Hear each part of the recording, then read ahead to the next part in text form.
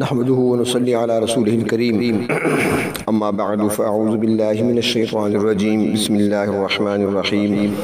बिल्लाहि मिनश शैतानिर रजीम बिस्मिल्लाहिर रहमानिर रहीम अलम तर इलल लज़ीना खरजू मिन दियारिहिम व हुम उलूफुन हज़रल मौत फ़क़ाल लहुमुल्लाहु मूतू थुम्मा अहयाहुम इन्नल्लाह लज़ू फ़ज़लिन अलन्नास वलाकिन्न अक्सरन्नास ला यशकुरून वक़ातिलू फ़ी सबीलिल्लाहि वअलमू अन्नल्लाह समीउन अलीम मन ज़ल्लज़ी युक़रिदुल्लाह कर्दन हसनन फ़युज़ाइफ़हु लहू अज़आफ़न कसीरा वल्लाहु यक़बिदु व यबसुतु व इलैहि तुरजऊन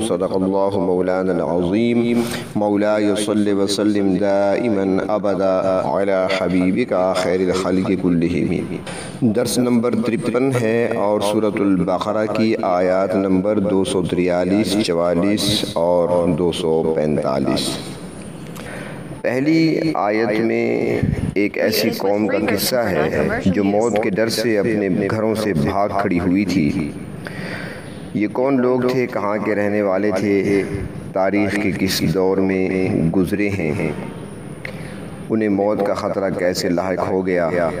तो इसके बारे में मुख्तलिफ़ अकवाल हैं, लेकिन कुरान करीम ने किसी एक कौल की तरफ़ इशारा नहीं किया।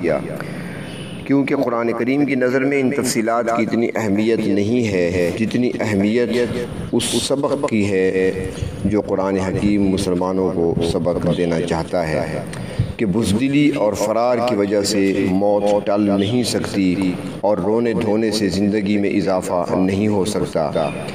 अगर किसी की ज़िंदगी के दिन बाकी हों तो उसे मैदान जंग में भी कोई नहीं मार सकता। किसी जमात की कसरत उसकी हिफाजत की जामिन नहीं हो सकती और किसी जमात की किल्लत उसकी तबाही और शिकस्त की दलील नहीं हो सकती। तो यहाँ पर इर्शाद फरमाया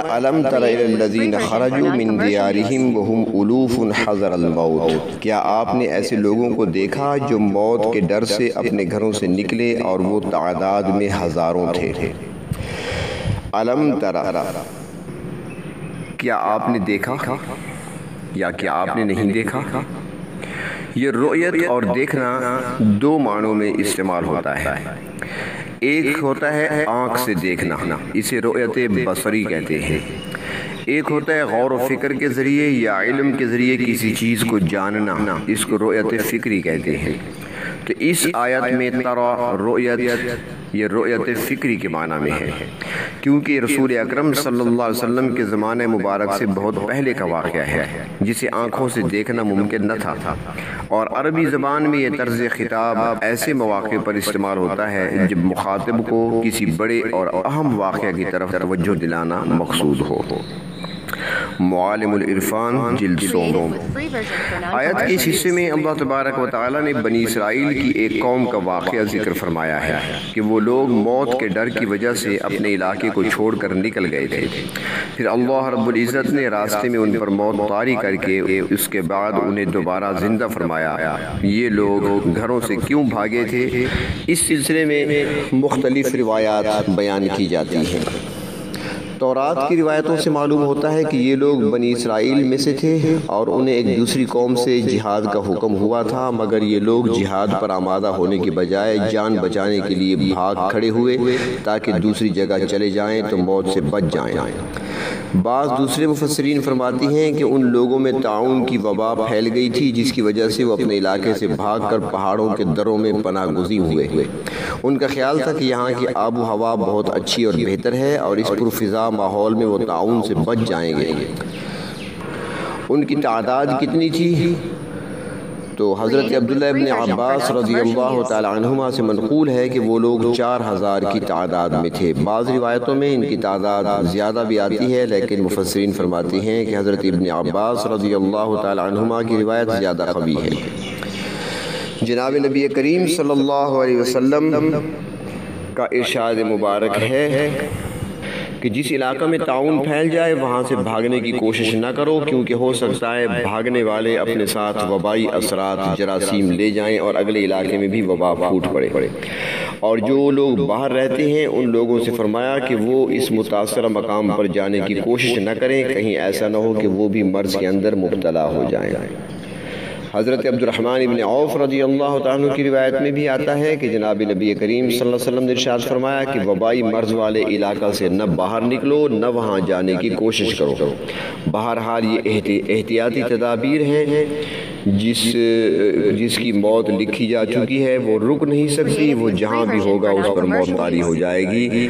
और फिर यही हाल इन भागने वालों का भी हुआ। फ़काल मूतू। अल्लाह ताला ने उनसे कहा कि मर जाओ, वो जिस वजह से भी भाग कर पहाड़ों में पहुँचे, अल्लाह रब्बुल इज़्ज़त ने उन्हें वहीं पर मौत दे दी। और उनका अपने घरों से निकलना या भागना, उनके काम न आया। बाद मुफसरीन फरमाते हैं कि ये लोग जिहाद से फ़रार होने के लिए घरों से निकले थे। उन्हें एक काफिर कौम से लड़ने का हुक्म हुआ था। शुरू में तो उन्होंने लड़ने की तैयारी की, लेकिन बाद में उन पर बुजदिली तारी हो गई और लड़ाई से जान छुड़ाने के लिए उन्होंने एक हीला बनाया और अपने बादशाह से कहा कि जिस सरजमीन पर जिहाद करने के लिए हमें जाने का हुक्म हुआ है, उसमें वबा फैली हुई है। जब वबा ख़त्म हो जाएगी तो हम वहाँ पहुँच जाएँगे। तो अल्लाह तबारक वाली ने उन पर मौत भेज दी। जब बस्ती में उनकी मौतें शुरू हुई तो वो लोग घरों को छोड़ खड़े हुए और पहाड़ों पर वो चले गए ताकि वहाँ जाकर मौत से बच जाएँगे। लेकिन वो मौत वहाँ पर भी आई और उनको आकर पकड़ लिया। बात फरमाते हैं मुफसरीन कि, जिस ज़माने में ये वाक़ पेश आया था, उस ज़माने में अल्लाह तबारक व के एक नबी हज़रत हिजकील मौजूद थे। और जिन पहाड़ी दरों में ये लोग जाकर छुपे थे, वहाँ हिस्कील आसमाम भी कभी कभी इबादत के लिए आते थे। तो उन लोगों की मौत के बाद जब अल्लाह के नबी हसब मामूल इबादत के लिए वहाँ तशरीफ़ ले गए तो वहाँ देख कर हैरान रह गए कि हर तरफ़ लाशें ही लाशें बिखरी हुई हैं। तो उन्होंने वहाँ पर दुआ की, उनकी दोबारा ज़िंदगी की सुम अहिया फिर अल्लाह ताला ने उनको ज़िंदा कर दिया। दोबारा ज़िंदा होना ये एक गैर मामूली वाक़ और मोजाना तौर पर अता अता किया हुआ है। जिस तरह इससे पहले भी गुजर चुका है, इसी सूरत में, हज़रत मूसा के ज़िक्र में, कि जब किसी शख्स को उसके अजीज़ों ने कत्ल कर दिया था तो हज़रत मूसा ने अल्लाह रब्ज़त के हुक्म पर उन्हें गाय के ज़बह करने का हुक्म दिया था और गाय के गोश्त का टुकड़ा लगाने से मुर्दा ज़िंदा हो गया और उसने अपने कातिल बता दिए थे। तो ज़िंदगी एक बार मिलती है और उसके बाद मौत है और मौत के बाद दोबारा ज़िंदगी क़यामत के दिन होगी। लेकिन अल्लाह रब्ज़त कभी कभार अपनी कुदरत के नमूने दिखा देते हैं। अल्लाह रब्ज़त का एक कानून है और एक कुदरत है। अल्लाह तबारक वाली कभी कभी अपनी कुदरत के नज़ारे दिखा दिया करते हैं। तो हज़रत हिजगीर की दुआ से उन लोगों को दोबारा ज़िंदगी मिली। तो मौत और ज़िंदगी के इन मराहल से गुजरने के बाद वो हकीकत हाल को समझ गए। अल्लाह रब्ज़त से मुआफ़ी मांगी, जिहाद में हिस्सा लिया और दुश्मन के ख़िलाफ़ जमा मर्दी के जौहर दिखाए और आखिर अल्लाह रब्ज़त ने उनको फ़तह नसीब फरमाई और उनको गलबा अता फरमाया। मौत और ज़िंदगी ये अल्लाह इज़्ज़त की कुदरत में है, जिसके लिए जितनी ज़िंदगी मुकर है, उससे पहले इंसान की मौत वाक़ नहीं हो सकती और न उससे ज़्यादा ज़िंदगी उसे हासिल हो सकती है। हज़रत खालिद बिन वलीद रदी अल्लाह की मौत बिस्तर पर वाक़ हुई। हालाँकि आपने ज़िंदगी में जी भर कर जिहाद किया बड़ी बड़ी जंगों में लश्करों की कमांड की। आप कहा करते थे कि खुदा ताला बुजदिल की आँख को ठंडा न करे। मेरे जिस्म का कोई हिस्सा ऐसा नहीं जिस पर तीर तलवार या नेज़े का ज़ख्म न हो।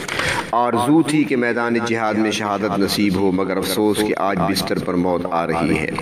बुखारी शरीफ की रिवायत में है कि हज़रत ज़ुबैर रज़ी अल्लाह तु की सारी ज़िंदगी जिहाद में गुजरी। उनके जिस्म का कोई हिस्सा भी जख्मों से खाली न था। हती के आज़ाए मस्तूरा पर भी नेज़े का ज़ख्म था, मगर उनको भी मैदान जिहाद में शहादत की मौत न मिल सकी। थी लिहाजा इंसान का फ़र्ज़ है कि मौत के खौफ को दिल से निकाल दे, क्योंकि अपने वक्त पर ही आनी है जहाँ अल्लाह रब्ज़त ने मुकर फरमा रखी है। तो फरमाया इन फ़ज़लनास अल्लाह ताला बड़ा फ़ज़ल करने वाला है वला किन अक्सर लाशकरून मगर अक्सर लोग उसका शुक्र अदा नहीं करते, यानी उसकी कुदरत पर यकीन नहीं रखते।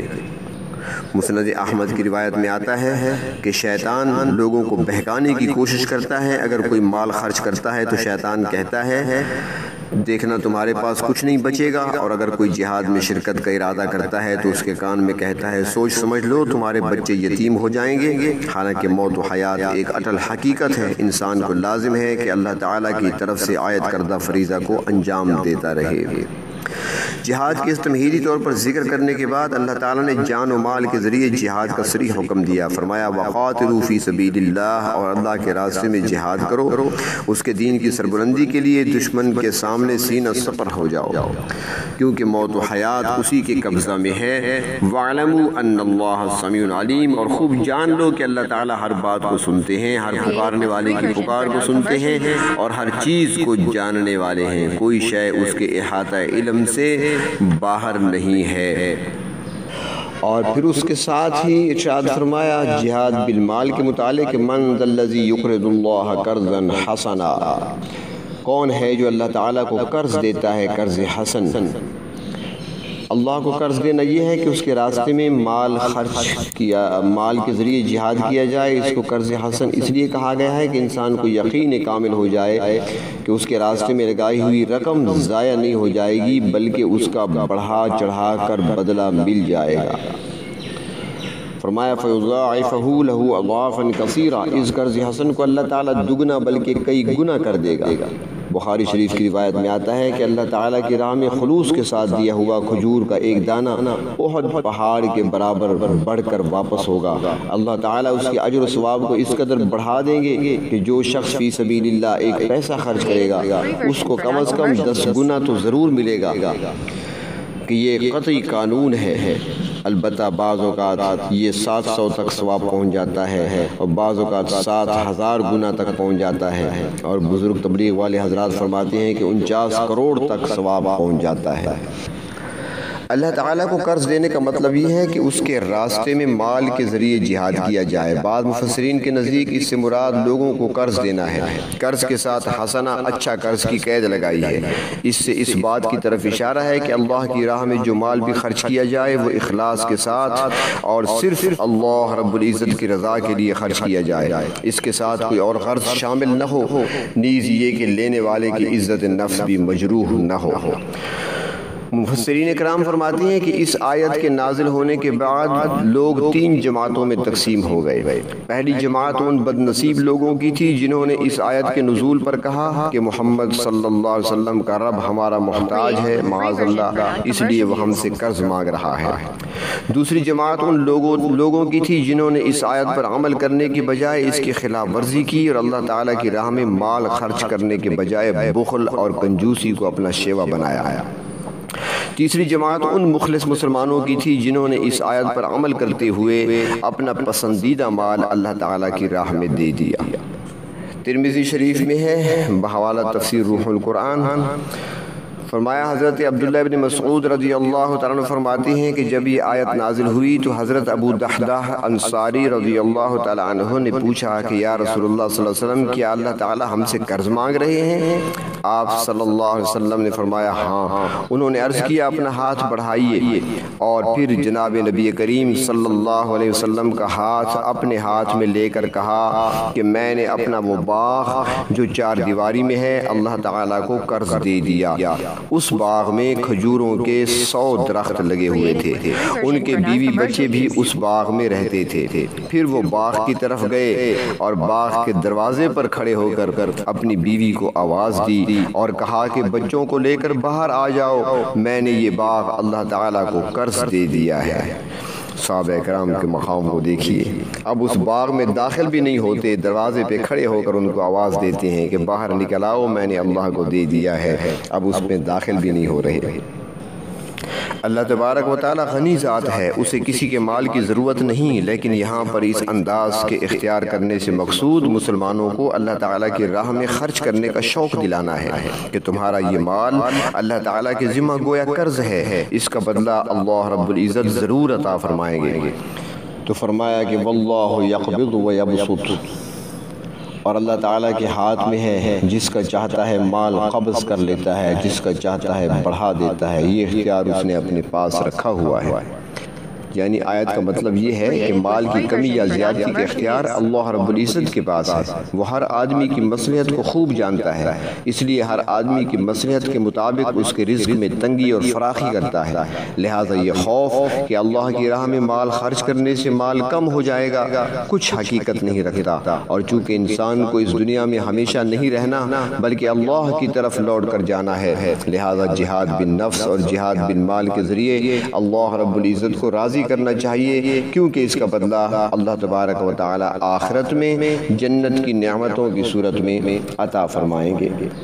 तो फरमाया वही तुरजाऊन और तुम सबको उसी मालिकुल मुल्क की तरफ़ लौट कर जाना है। अल्लाह रब्बुल इज़्ज़त हमें कुरान करीम की सही समझ और इस पर पूरा पूरा अमल करने की तौफ़ी नसीब फरमाए। व आखिर दावाना अनिलहमदिल्ला रब्बिल आलमीन।